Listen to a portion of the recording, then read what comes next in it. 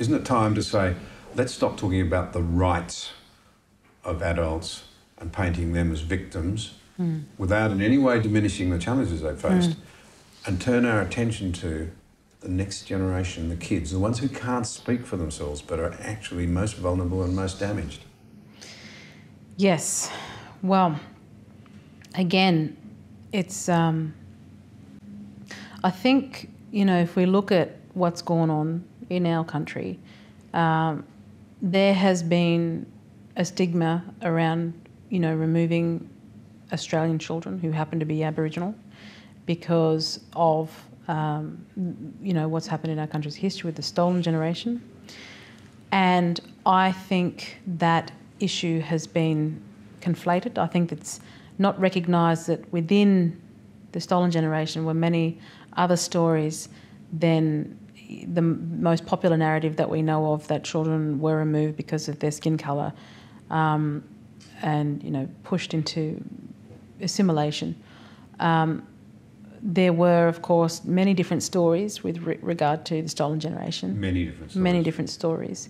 And that's a part of, again, acknowledging our history in its entirety and not particular narratives.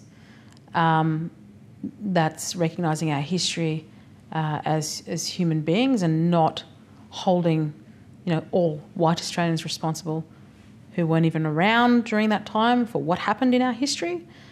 Um, and you know, the, the, we need to get away. And what I see a lot now is the way the media y- use trigger words. You know, they use the term. Uh, um, I think because David Gillespie recently said that, um, you know, he believes Aboriginal children should be adopted, and I agree with him entirely.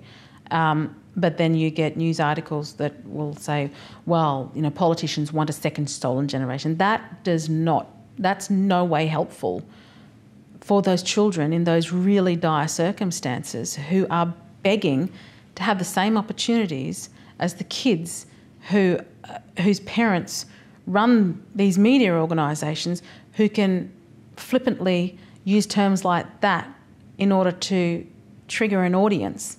They have utter disregard for these kids in those circumstances.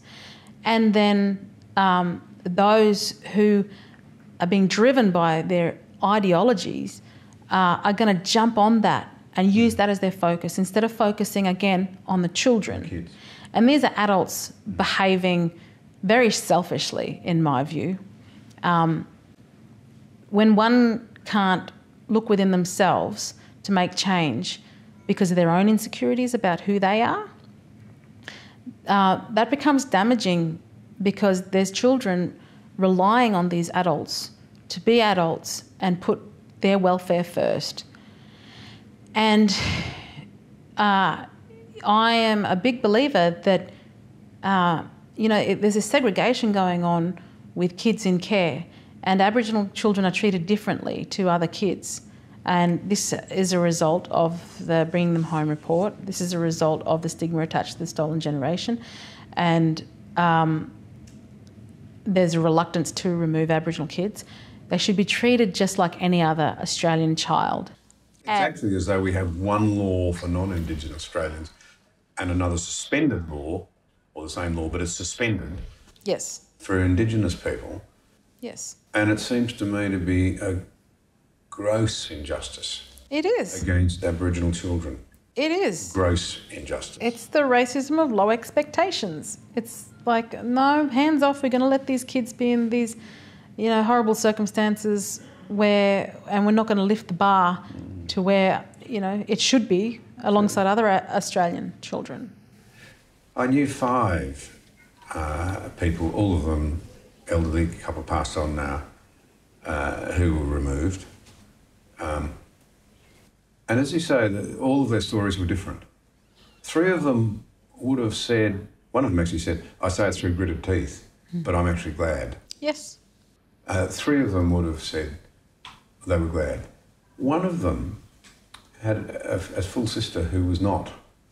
Both of them were well adjusted and working well in their communities and they enjoyed wonderful family lives. It was nowhere near as simple. And here's the, here's the rub we're going to this motivation where, I'll use the word, do gooders sitting in ivory towers tell us what we should do for Aboriginal people and refuse to engage in what needs to be done for their children. Mm. I think their motivation should be questioned, frankly, mm. quite often.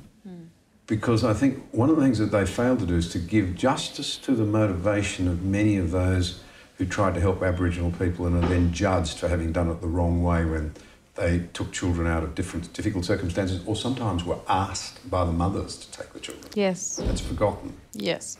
I'm not excusing it.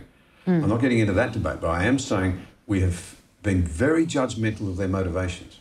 Yes. I suspect that those young Aboriginal children we're talking about when they grow up, and perhaps the young white Australian children too who get to know them, will be very severe in the judgments they pass on us. We should not be so smug yes. in sitting in judgment on those who have gone before us because I think we're presiding over terrible injustices and terrible blind spots. Yes. And I'll say it a very clumsy racism if we could only see the way we're really behaving. Yes. Am I being unfair? Not at all. Uh, I know of a woman whose story I shared uh, in the lead up to the whole Australia Day debate, she had sent me her story and said, oh, please share this for me because she was enraged with the way that protesters were so willing to pour so much of their energy into trying to tear down Australia, if you like, uh, and not into caring enough for Aboriginal kids. She's currently in the process of taking to court uh, the Child Protection Agency for not intervening in her and her brother's life.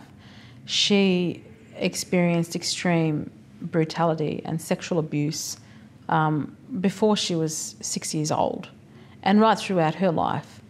And she's become an incredibly gutsy woman, but she should never have had to endure what she endured. And uh, the agency knew what was going on. The notifications had been brought up for her and her brother, and they were never removed from those circumstances. They were left there because they were Aboriginal.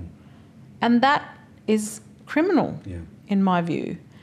And, you know, it disappoints me when there are Aboriginal people elected into positions of power where they can be uh, speaking out against this or speaking for the children, but they don't. They they they continue to toe, you know, a, a particular ideological line and a narrative, um, and I can't understand why. Um, I know. Well, I know it's to avoid the sorts of criticisms that I've been exposed to, um, and it's probably because they think they're going to lose that position if they, if they, you know, speak the truth but it's it's all it's all selfishly motivated and it's got nothing to do with what's best for our kids. It is far too common than it should be.